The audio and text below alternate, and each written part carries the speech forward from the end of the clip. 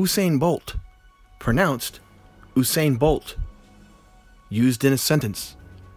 Usain Bolt wanted to play The Flash, but Warner Brothers thought the idea of a black man running fast would not be believable to modern audiences.